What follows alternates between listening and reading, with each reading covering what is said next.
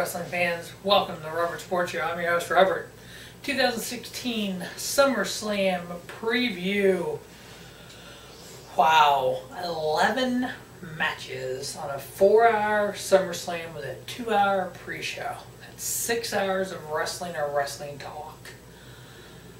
If you remember the debacle that was WrestleMania, they tried this had the two hour pre show, the four hour show, and the show ran over. At, at a certain point, you just start throwing crap in there, and there are 11 matches, and there's a lot of SmackDown and Raw type matches in this show. You could cut down three or four matches off this show, make it a four hour show and an hour pre show, call it good. But gee, even a three hour show Alright, we're going to run down this massive, crappy, just, some of this card is just shit. Some of this card is just unbelievable. Um, starts out with, well, let's step back a little bit. As we know, um, if you, maybe you don't know, three, three, three people have been suspended for the 30-day wellness program violation. Alberto Del Rio, his girlfriend Paige, and Eva Marie. So Eva Marie was actually in a match in this show. So that match has been uh, modified. So now we have a SmackDown women's match, 2 on 3 handicap match. We have Carmella, Becky Lynch, and Naomi versus Natalya and Alexa Bliss. Eva Marie was supposed to be on that team, but she's suspended for 30 days, so she can't participate. This is a, this is a SmackDown match. Why we have it on here? Why don't we end up doing I don't know, Becky Lynch versus Natalya versus Carmella for the SmackDown Women's title? I'd be fine with that. Well, wait, we haven't created this title yet, but we will create this title. Um, yeah, I got the faces of Carmella, Becky, and Naomi winning it. Uh, next, we have the Raw brand match made by Mick Foley. We have the best of seven series, which they've done this before in WWE. I believe it was Chris Benoit, and I want to say MVP, I think. I don't remember who I think. I think it was Benoit at least. But there's been several of these best of seven type series. I think Booker had one at one time. Um, we have Cesaro versus Sheamus, so this is the first one of seven.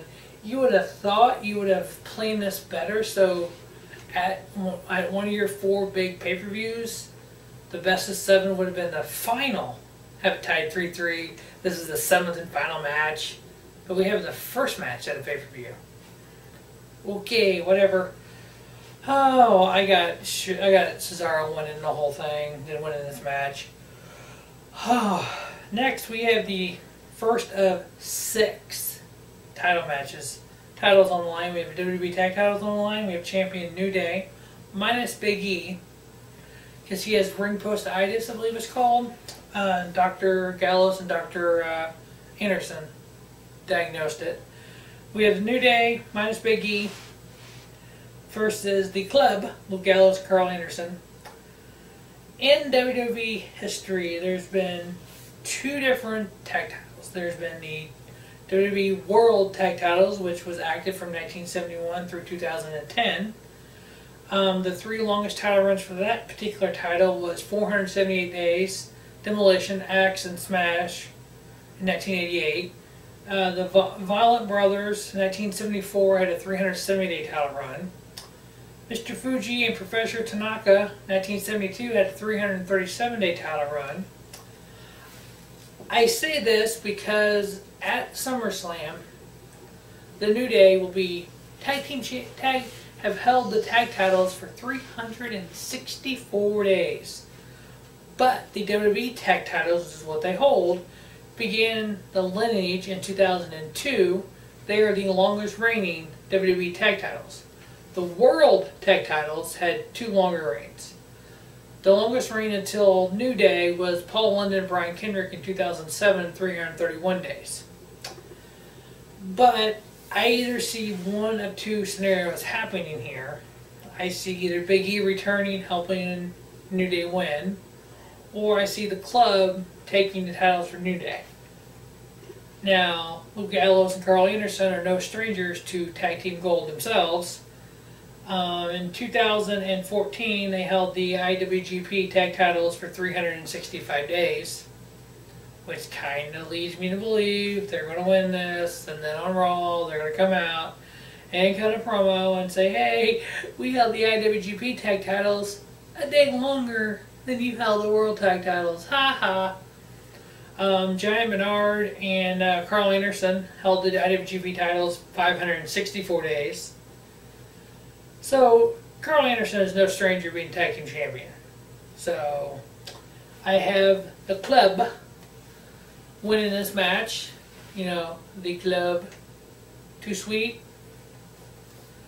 Um, four members of the Bullet Club and New Japan Pro Wrestling.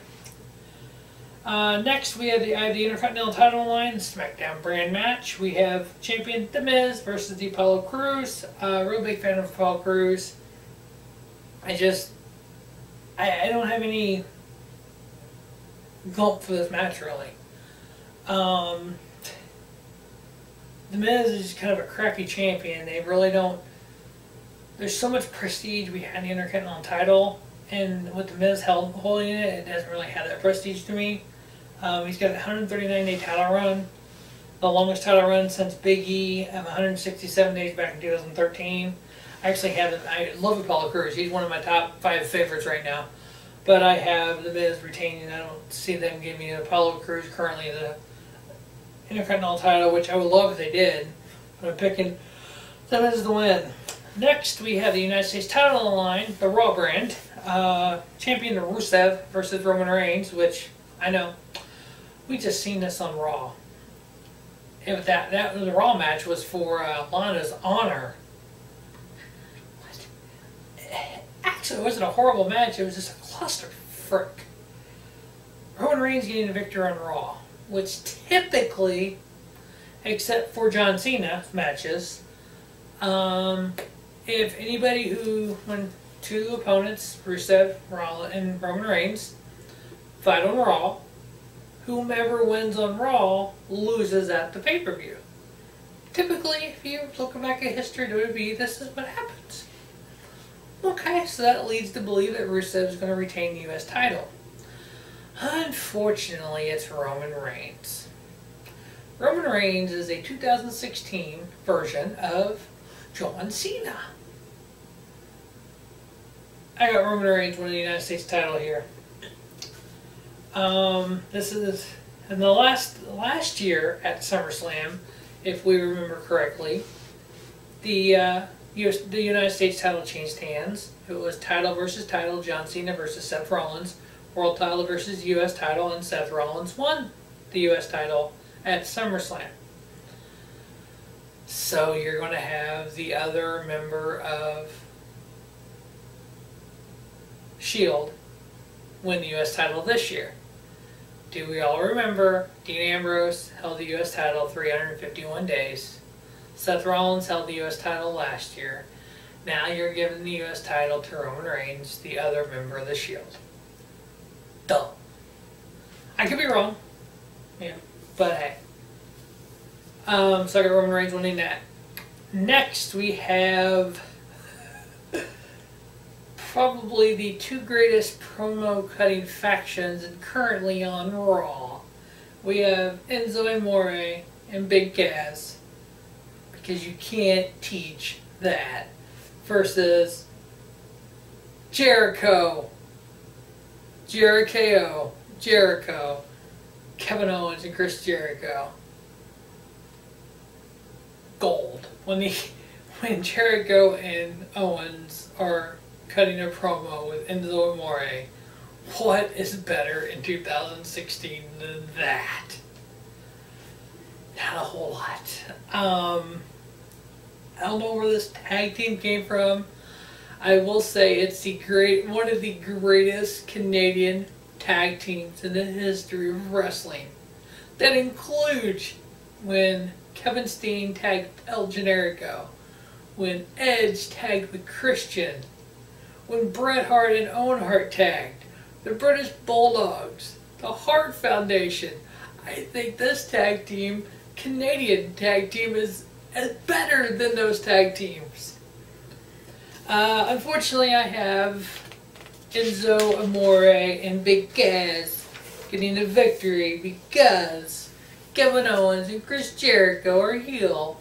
And heels, there's only one word to describe them in the WWE Universe. S A W F T. Soft? As Kevin Owens said, Big Cass doesn't know how to spell. He's spelling it wrong.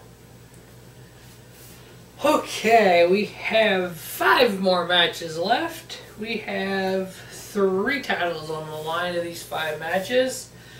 Um, these really are the five match, five big matches for this show that are really worth watching. We have SmackDown, John Cena versus AJ Styles, a repeat of Battle of Money in the Bank, in which the phenomenal AJ Styles get the victory over John Cena. And a battleground, we had Enzo Amore and Cass with John Cena versus AJ Styles in the club. We had Enzo Amore, Cass, and Cena winning that.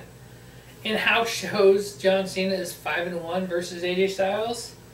Uh, with the victory at Money in the Bank, I see John Cena getting a victory here. So one on one at pay per views, they're going to be one and one. And then at the uh, first SmackDown pay per view, which I believe is September 11th, it's um, No Mercy, maybe. Um, whatever. Yeah, it's uh, totally just lost. I I had it on my computer and I totally just forgot what it was going to be. Um, they're bringing back No Mercy. and They're bringing back um, Backlash. I think Backlash might be the first one. So September is going to have two pay per views. Looks like Backlash and then um, whatever the Raw pay per view is going to call. Oh, Clash of Champions. So I see them having a third match in the series. I got John Cena winning this. I think that'd be a pretty good match. Um, just AJ Styles without the club, so one on one. Next, I had the WWE World Heavyweight title on the line. Champion Dean Ambrose versus Dolph Ziggler. Uh, Dolph Ziggler is a two-time WWE World Heavyweight Champion. Dean Ambrose has held the title longer after cashing in Money in the Bank longer than the last three Money in the Bank cash-ins. So if that made sense. So he's held the title longer than the last three people who've cashed the title, cashed the briefcase in. They held it less than what he's held it. So I'm fine with Dean Ambrose being a champion. I don't know what the rest of the universe thinks. Pardon me. Or what you know WWE actually thinks of it. I think he's doing good as champion. He's kind of this cheesy little facey champion, but they need to turn him heel and let John Moxley come out, and you can get he can give Bray Wyatt some uh, run for his money on promos. But I, I do want to look at there's 11 big matches here. No Bray Wyatt. No Sami Zayn. I mean, you, you cram some crap in there, but you leave two of your bigger stars off. You have to throw Sheamus and Cesaro on this best of seven get to get them on there. No American Alpha. it just doesn't make the booking of this thing. It's crazy. Okay, so I got Dean Ambrose retaining the WWE World Title. Next, we have I have the WWE Women's Title line. With Dana Brooke being banned from ringside, we have champion Sasha Banks versus Charlotte. This this title, this women's title, currently is the technically the third women's title in the history of WWE. They had the women's title, then they had the Divas title, then they unified them, and then they got rid of the Divas title, brought the women's title back. But when they brought the women's title back, they created a new lineage for it. So if you actually look up the WWE women's title, it only has Charlotte and Sasha. You have to look the Divas title up to go back, and then you have to look the other women's title up to get back to the Fabulous Moolah and all those. Very complicated. But these two divas, Sasha Banks Charlotte, can put on a classic of a match. Uh, Sasha and Charlotte, Raw, July 25th. When Sasha took the title from uh, Charlotte, it was a three and three quarter star, star match. NXT live show, March of 2015, a four star match by these two ladies. Sasha, Charlotte, and Becky at WrestleMania this year, triple threat, four star match. what I'm getting is two of the best women wrestlers in the ring, bar none. They can go out, they can put a show on that can make AJ Styles and John Cena jealous. So hopefully these matches will deliver. That match will deliver. It's not the Styles Cena, but Sasha and Charlotte. I got Sasha retaining. Sub-main on this paper, massive card. I have the WWE Universal title on the line. I, I have the, the um, former World Heavyweight Champion Seth Rollins versus the former NXT Champion, but Seth Rollins is also the former NXT Champion, the Demon Finn Balor. First time ever these two former NXT champions have ever met. If y'all can find it, something I didn't find, I look back on everything I could find. Seth Rollins, Seth Rollins, Tyler Black matches, Finn Balor, Prince Devitt matches, and I could never find a time that Ring of Honor and, and, and New Japan, yeah, they had different cards, but these two guys have never fought one on one. I couldn't find anything. Just seeing that demon entrance, not only on NXT shows, but at the Barclays Center last year for Takeover 1, and then on Raw this past week, I think the SummerSlam entrance is going to be up off the hook. Oh, excuse me. I think Seth Rollins, Finn Balor, they're going to be able to mesh together and just go out there and put on a clinic of a match. A very, you know, match of the night, match of the year type of match. Kind of like the Cruiserweight Tournament, Cruiserweight Classic, second round matchup of Kota Ibushi and Cedric Alexander, which I thought was a match of the year candidate. This match could be better than that match was. I actually have the demon Finn Balor becoming the first ever WWE Universal Champion. Main event, ladies and gentlemen, we have the Beast Carnage, Brock Lesnar versus the RKO of Randy Orton. How many suplexes does it take to go to Suplex City? Don't know, but we do know it takes one RKO to go to Viperville. Suplex City versus Viperville. Second time in the history of wrestling that this match has ever happened. March of 2002, one on one, Lesnar and, Bra- and Randy Orton. Excuse me, I'm tired. Um, Brock Lesnar getting the victory there. Here's my problem with this being a main event match.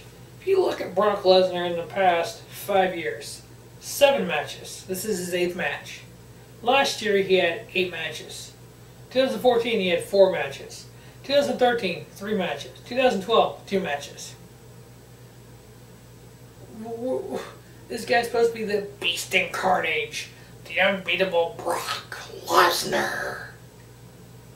Be on some few more shows here, dude.